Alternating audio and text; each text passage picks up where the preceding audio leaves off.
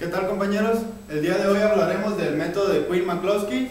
Vamos a dar lo que es su definición. El método de Quinn-McCloskey parte de, parte de una función booleana, que es un método tabular de simplificación sistemática que facilita la minimización de funciones. Eh, como bien lo hemos manejado anteriormente, hemos trabajado lo que era el sistema Carnot, pero en él cabe mencionar que es muy viable manejarlo cuando estamos hablando de pocas variables, de cuatro o menos variables. El método de Quinn-McCloskey lo utilizaremos para más de cuatro variables. Eh, pues esa es una de las ventajas principales, ya que es muy sistemático, hay que seguirlo, no requiere de habilidades como lo, como lo propicia el método de Carnot.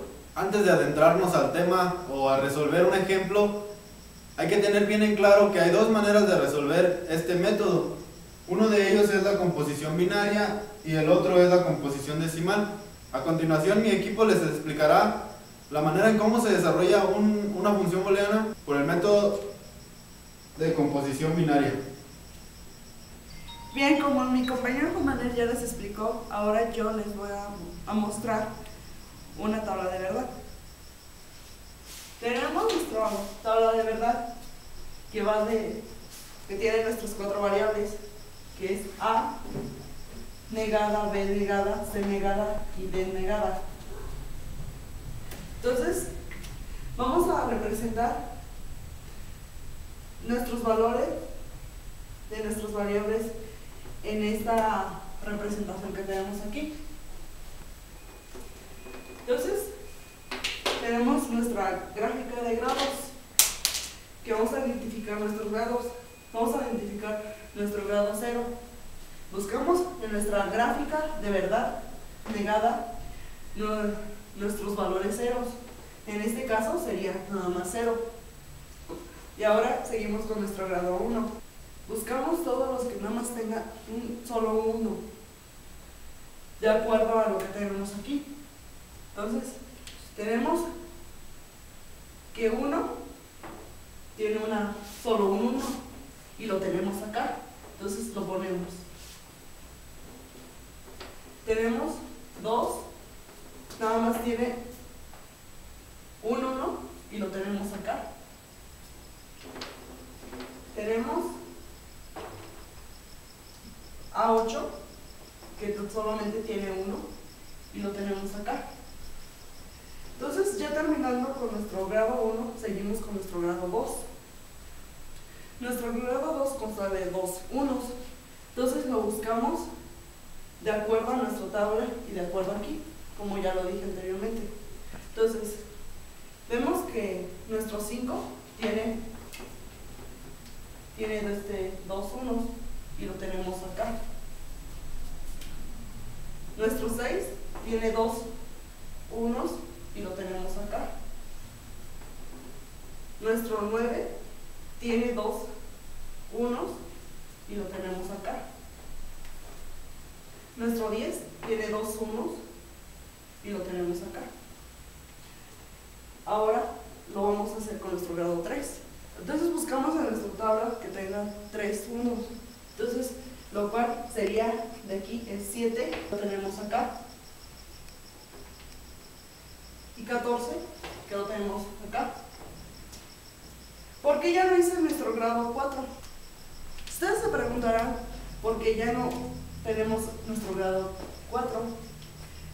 Sí lo tenemos aquí en nuestro trabajo, pero no lo tenemos en nuestra, en nuestra función. Entonces nada más se evalúa hasta nuestro grado 3. De acuerdo a la tabla que acabo de hacer, que es esta, mi compañero Uriel les explicará por lo que sí. Bueno compañeros, como mi compañera Marta ya les explicó, aquí tenemos nuestra tabla de grados, la cual se sacó de nuestra tabla de verdad. Esa tabla de grados nos va a servir para hacer la comparación entre, entre los valores de ellos de esta, de esta misma tabla para poder sacar un resultado y pasar a una, a una última tabla. Aquí lo que vamos a, a pasar a hacer es evaluar el 0 con cada expresión del grado 1.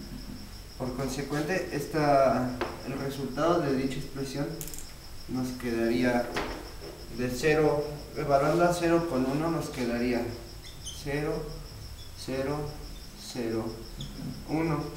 Evaluando de 0 con 2 nos quedaría 0, 0, 0. Evaluando con el de 0 a 3 nos quedaría guion 0, 0, 0. Se, se preguntarán por qué nos queda así. En esta parte hagan de cuenta que esta, esta columna de ceros es equivalente al número 0. Esta de aquí va a ser equivalente al número 1. En esta lo que se trata de hacer es de que el 1 se iguala a 0. Por, por ejemplo aquí 0 es idéntico a 0. Sí, se coloca un 0. 0 es idéntico a 0. Sí, se vuelve a colocar otro 0. 0 es idéntico a 0. Sí, ahora aquí chequen este detalle. 1 es diferente de 0, por lo consecuente no se va a colocar ningún número, sino una raya donde aquí dice que este valor es diferente. Y este resultado de aquí lo tenemos aquí. Ahora, para poder evaluar la siguiente parte de 1 con 2, aquí debe hay, hay un truco. Estoy evaluando todos los, por ejemplo, tengo el 1 y tengo el 5. Para hacer esta evaluación, el número que va a mandar, por así decirlo, que, que este es el 1, debe de coincidir al menos con un 1 del 5.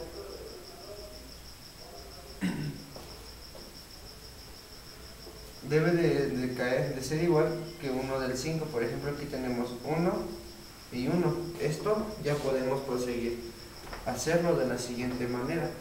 Que nos queda, tenemos 1, 0. ¿Es igual a 0? Sí, sí es igual a 0. Después tenemos 0. ¿Es igual a 1? No. Aquí es donde colocamos una diferencia. Después 0 es igual a 0, sí. Y después 1 es igual a 1, sí. Seguimos buscando a quién podemos evaluar con el 9. Acuérdense de esto.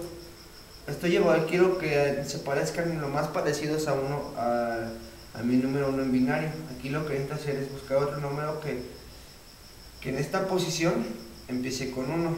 Si me voy fijando, el único que queda más es el 9, que el 9 se representa así, en código binario. El 1 es de esta manera.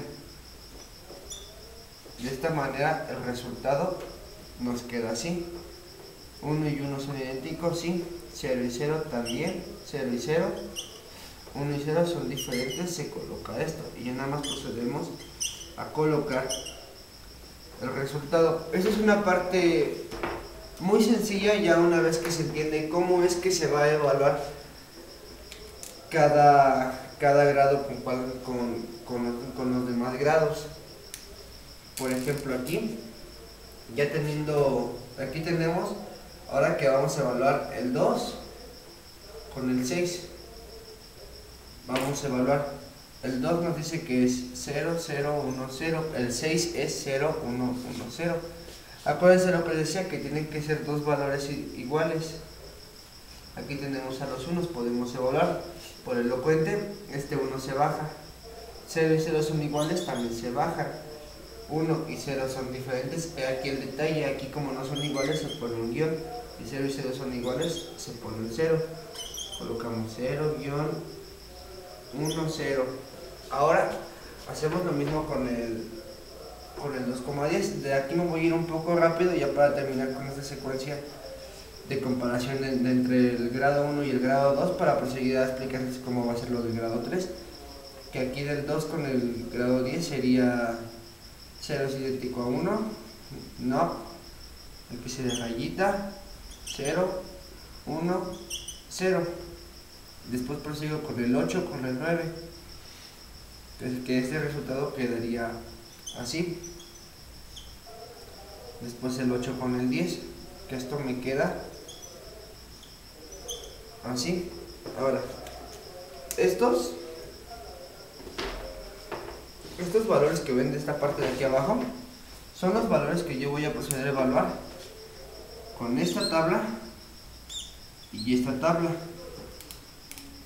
Ahora aquí fíjense, tengo aquí tengo 5, el número 5, y aquí tengo el número 7. El número 5 es 0, 1, 0, 1. El 7 es 0, 1, 1, 1. Aquí estoy evaluando a los números binarios que tienen dos unos en su, en su numeración con los de con los que tienen tres unos en su numeración por ejemplo aquí